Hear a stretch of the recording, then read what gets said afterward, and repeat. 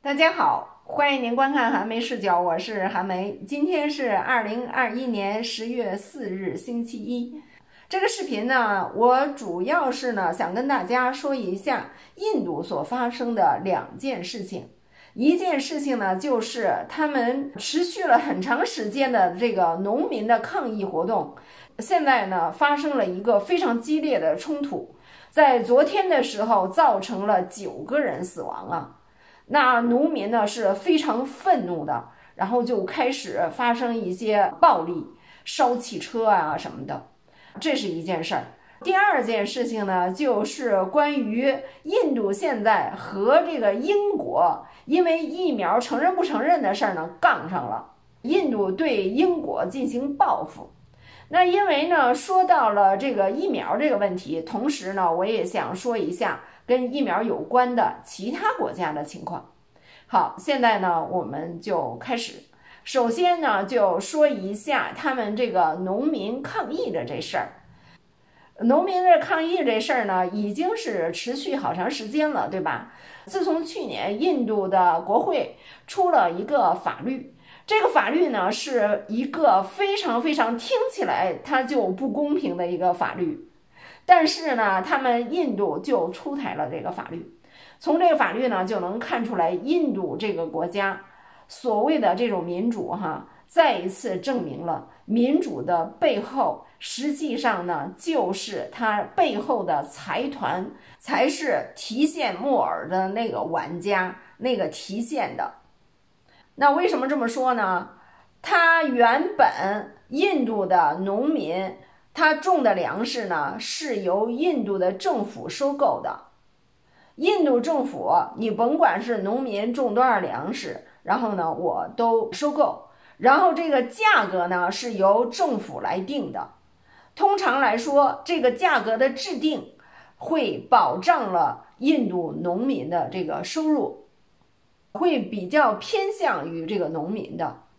在这种政策之下，农民呢都是有保障的，就是说种的粮食呢，无论多少，政府呢全都收回去，然后呢在价格上面也倾斜于这个农民，那农民长期以来呢是有保障的。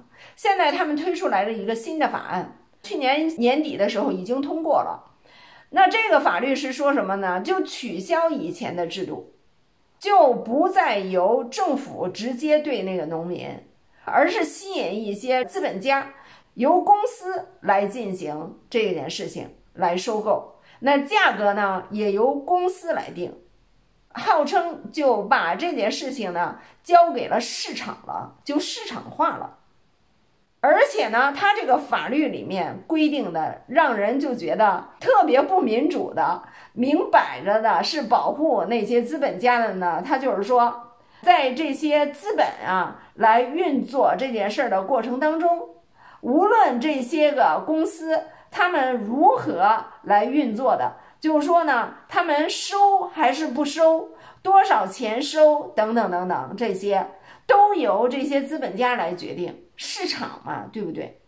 然后最孙子的一个规定呢，就是这些资本家呢，他是有免责权利的。印度的政府以及这些资本家对于这件事情不负任何责任，而且任何的农民不可以对政府或者是这些公司进行起诉，要求赔偿都不可以。那这样一来呢，这些农民就窜了，对吧？从去年年底开始。一直到现在已经有十个月的时间了，他们一直在抗议。那他们的抗议的这个活动呢，多数时候呢，他们都是和平的，或者他们声称是和平的。但是呢，有的时候也和警察发生了冲突。曾经呢，在八月份的时候，和警察之间就发生了一个冲突，造成了一个农民死亡。那在其他的时候，也就是这十个月的过程当中呢，我们也听说零零星星的就有人死亡啊，有人受伤啊，发生肢体冲突啊，这些警察放这个催泪弹啊等等这些。但是呢，昨天却发生了一个非常激烈的一个事件，导致了这些农民呢现在非常的愤怒，这个抗议活动呢就激烈化了。就升级了。昨天的时候呢，这些农民就跟那抗议，他抗议呢就是在马路上嘛喊口号游行，对吧？那突然呢就出现了一辆车，那这辆车来了以后呢，就不管这些游行的人群，朝着游行的人群呢就冲撞过来。结果呢，当场就造成了八个游行的人死亡。然后呢，这些农民就非常愤怒啊，然后就把这辆车呢就给它推翻呀。推翻的过程当中，又造成了两个人死亡。这个推翻造成两个人死亡呢，是印度的官方说的。那印度农民这边呢，就是说造成了八个人死亡，其中有四个人是农民。那其他的四个人是什么人？可能不是农民，是什么人呢？现在我没有看到。反正呢，有四个农民死亡。那还有第九个人死亡呢，就是这个车里面的这个司机也死亡了，一共是九个人死亡。那农民呢就特别气愤，发现是什么呢？为什么特别气愤呢？现在要求他们的那个 home 部，他那个部啊叫 home department。我不知道他这个 home department 是干什么的，没有办法翻译。反正呢，它就是印度的一个很关键的一个部，你就知道这个就行了。那他们就发现呢，这个车里面坐着的其中的一个乘客呢，就是这个部长的儿子。他们就认为呢，这个部长的儿子这样的横冲直撞，造成了八个人死亡。农民呢就不干。然后这个部长呢就出来说，说这件事呢跟他儿子无关，他儿子当时并没有在车里面，但是农民是不认的，农民就只认呢这里面有一个人呢车里面坐着就是他儿子，现在呢就要求追究他儿子的刑事责任，要求这个部长下台，非常非常的激烈。那部长呢，第一就是说他儿子没在车里，第二呢说。其中有两个农民的死亡呢，是因为他们在掀这个车的时候呢压死的。意思就是说呢，那两个人的死亡呢是跟他们没有关系的。好，现在呢，他就是这么一个情况。这农民呢是非常的愤怒，现在呢就在大街上还烧毁其他的汽车。如果你看那些视频啊、照片啊什么的，你就看到那火光熊熊的。好，这是印度农民抗议的这件事情，现在呢严重升级，是这个十个月以来呢现在最恶劣的一个程度。农民这个火呢能不能给他们压下去，能不能平息下去，现在呢还说不好。那他们已经持续了十个多月了，就想要求废除这条法律，但是呢，印度的政府坚持说。这条法律呢是有利于竞争的，是有利于他们的经济，因为可以吸引投资。以前是由政府来操作嘛，不让资本家来参与。现在呢，就政府不管了，由资本家来参与。但是农民说，你这样的话呢，你就是官商勾结，官商勾结来伤害农民的利益，使得农民的利益呢毫无保障，随便由这些商家来操弄。他很有可能会把这个价格压得非常低，完了以后呢，他有可能收到手以后呢，转手又卖得非常高，这种可能性真的是不排除，真的是有。印度这个国家，前两天我就做了一个视频，就说我看印度的有些电影里面演的，我反正看到是天高皇帝远的一个地方，哎呀喂，就好像是中国古代似的，他们那种生活呀。社会风气呀，那个官方啊，那个警察局呢，好像是在当地管事儿管的挺多的，就好像是我们古代的什么一个县官儿，然后他就管所有的当地。他们印度呢，好像就是那样的，很腐败，很腐败的。所以说呢，印度农民他们已经是抗议了十个月，他们这个主张呢。他们的担心完全都是有道理的，就会是现实。这就是印度的政府和那些资本家的一个勾结，来让这些资本家来做这件事情呢，不惜去伤害那些农民的利益。那印度那些农民呢，他们也指控说，这个政府根本就是一个残忍的政府，根本就是一个不为民做主的政府，是一个不民主的政府，号称是 democracy，对吧？现在说 undemocracy，现在农民呢就提出来这样的一个口号。好，现在再来说呢，印度和英国他们发生了一个什么冲突？为什么印度呢要报复英国？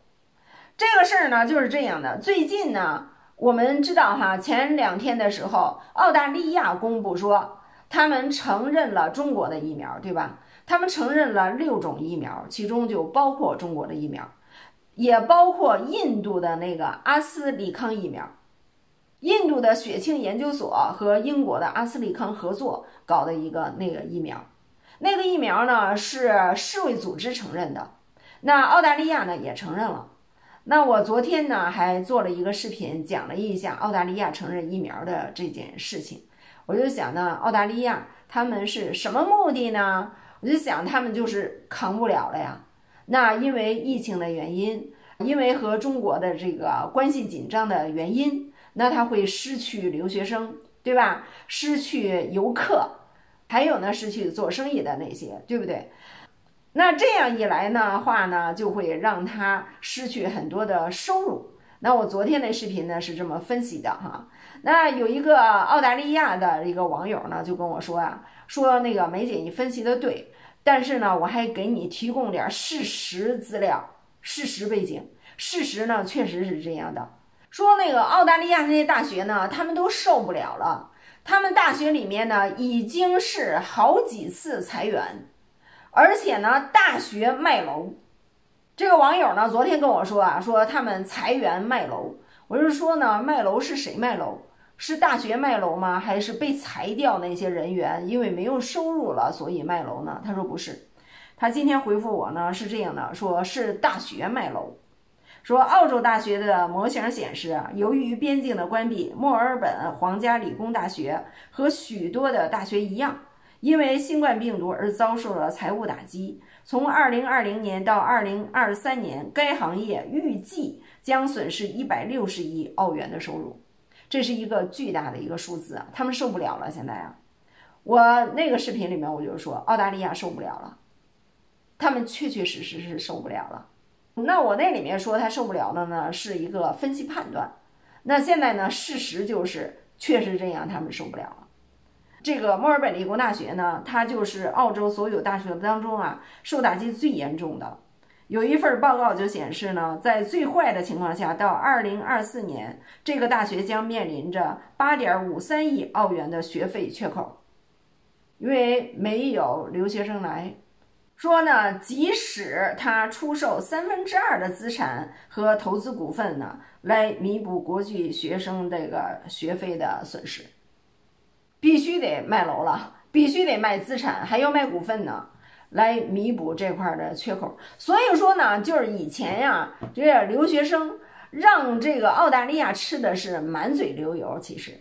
澳大利亚这么做呢，就和中国来作对呢，完全都是他们这个脑子进水，完全是脑子进水，是一种自杀性的一些行为，就和这个印度一样，政府一点都不管民众的这个利益，那个大学它也是一个经济行为，对吧？这也是民间的利益啊，根本就不管。那现在呢，澳大利亚。现在知道呢，说受不了了，现在就从疫苗方面放宽。像印度和中国，这都是留学生的两个主要的来源国呀，所以他承认印度的疫苗，承认中国的疫苗。那再说回来哈，为什么说印度现在和英国杠上了呢？就是因为英国它最近也宣布了，就关于这个疫苗这事儿。从十月四号开始，只有打了四种疫苗的人进入到英国的话呢，才可以不需要进行隔离，不需要隔离，不需要提供检测报告，你就凭借这个疫苗护照你来就行了。那这四种疫苗呢，就是辉瑞、莫德纳、阿斯利康，还有这个强生。那我们就知道哈，阿斯利康它实际上分三种，一种阿斯利康呢，就是阿斯利康和牛津大学合作的这个；第二种呢是阿斯利康和欧洲进行合作的；第三种呢就是阿斯利康和印度合作的。那现在英国呢就不承认印度的这个阿斯利康疫苗，这一点呢我还试图去理解为什么，但是现在呢，哎，我想不出来为什么。为什么呀？我觉得是因为经济的原因吗？因为印度抢了他的生意吗？我觉得好像也不应该吧。因为印度毕竟也是和阿斯利康合作的呀。那如果你不承认印度的，难道说原来就是打印度版阿斯利康的，难道就能打牛津版的阿斯利康吗？这个我现在呢还没有想明白。英国方面就说什么呢？英国方面就是说呢，就怀疑印度的这个阿斯利康疫苗啊，怀疑它不合格，怀疑它不好使。我觉得这是应该是一个借口，因为世卫组织都已经通过了，世卫组织都是承认的，美国也承认了，美国说世卫组织承认，他全都承认。那澳大利亚呢，承认的那六种当中就包括印度的这个呀，你为什么英国说不相信呢？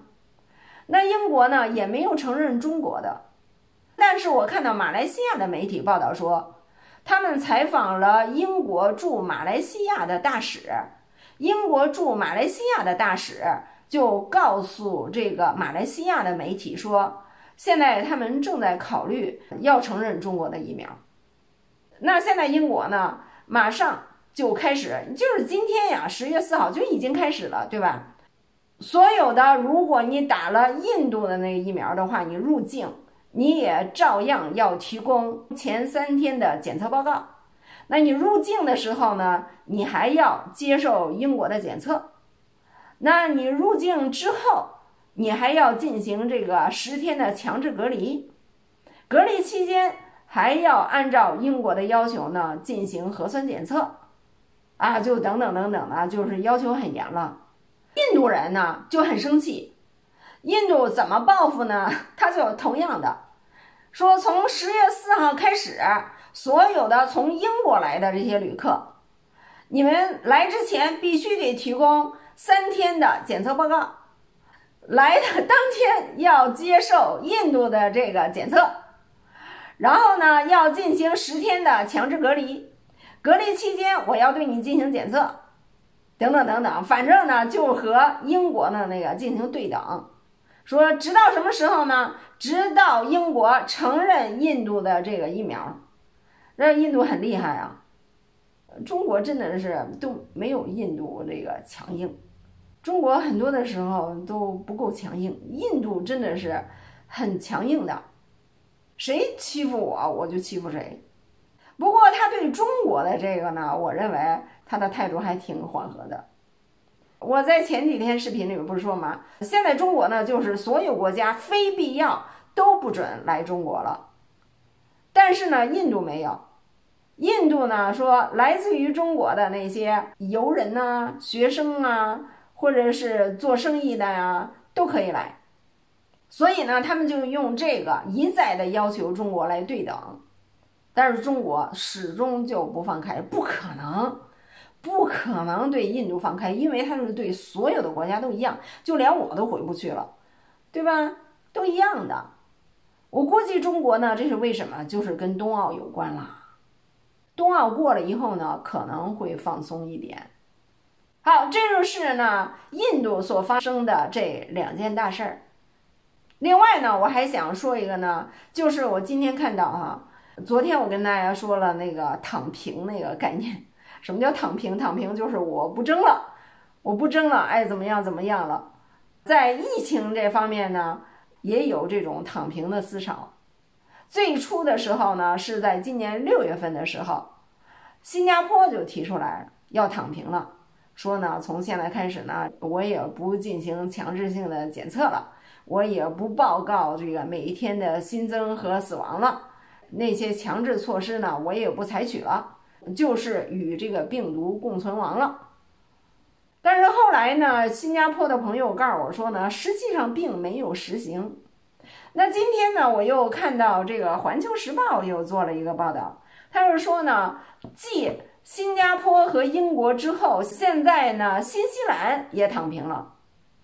它里面也提到了新加坡的这事儿，就是新加坡在六月的时候说是和病毒同存亡，然后七月份的时候，英国就宣布说到七月十九号，我这一波的封城解封之后，我永远都不封了。